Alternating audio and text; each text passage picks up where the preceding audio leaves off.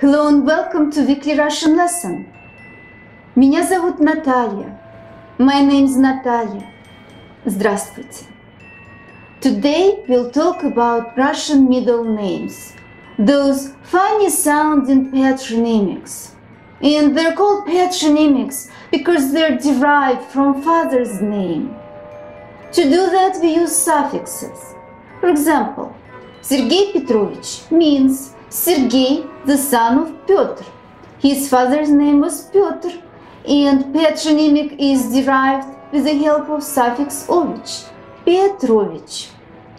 After watching today's lesson, you'll be able to pronounce patronymics of some of our most famous authors. Lev Nikolaevich Tolstoy, Alexander Sergeyevich Pushkin, and Fyodor Mikhailovich Dostoevsky. And for female patronymics, we'll look at two our famous poets, Anna Andreevna Akhmatova and Marina Ivanovna Tsvetaeva. Once you know how to pronounce these patronymics and how they're formed, and they're formed with the help of only two suffixes, two for male and two for female, then you will be able to pronounce all Russian patronymics because the second half of them is the same. So let's take a look at them and see how easy we can make it for you.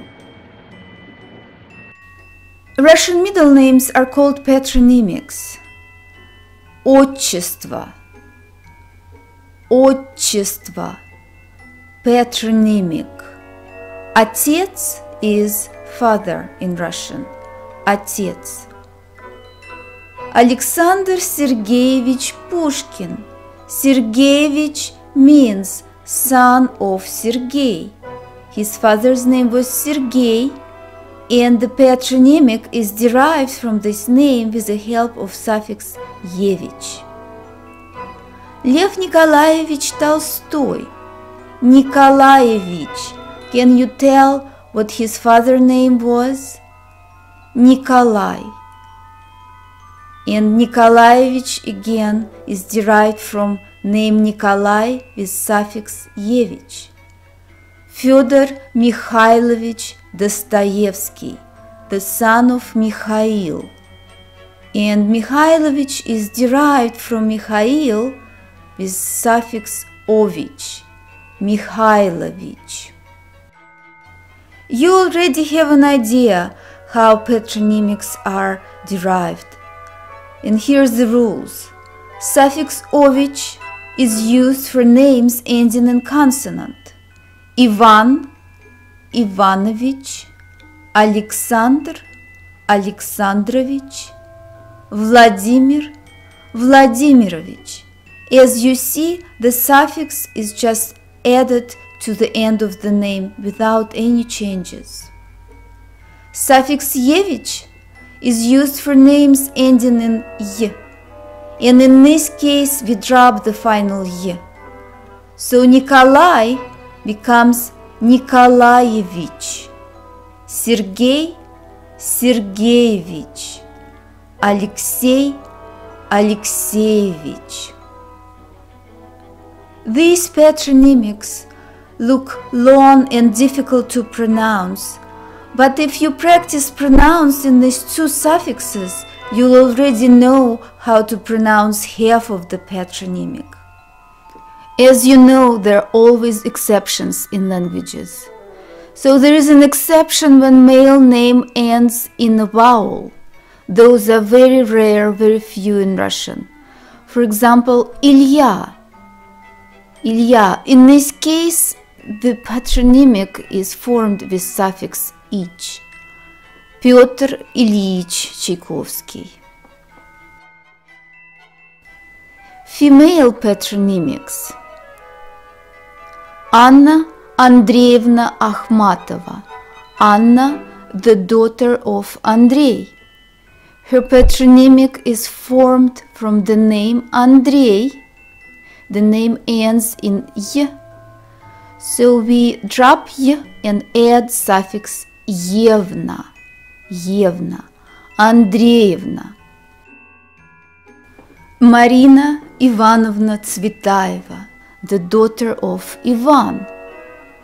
Ivanovna, the name Ivan, and we add suffix ovna. Ivanovna. Here's the rule of forming female patronymics. Suffix ovna is added to names ending in consonant. Ivan, Ivanovna, Alexander, Alexandrovna, Vladimir, Vladimirovna. When the name ends in y, which is semi-vowel, we drop the final y and add suffix евна. Николай, Николаевна, Сергей, Сергеевна, Алексей, Алексеевна. How do we formally address a person? To address a person formally, we use their first and middle names, first name and patronymic. If we were so fortunate as to meet Lev Nikolaevich Tolstoy, we would say Здравствуйте, Лев Николаевич. Dostoevsky would introduce himself. Меня зовут Федор Михайлович. We would address Anna Akhmatova as Anna Andreevna. Marina Tsvetaeva as Marina Ivanovna. This is all on Russian names. As you see, Russians have only one given name. The middle name, patronymic, is derived from father's name. The easiest way to pronounce patronymics is to learn how to pronounce those few suffixes used to derive them from father's name. Hope this was helpful. До свидания.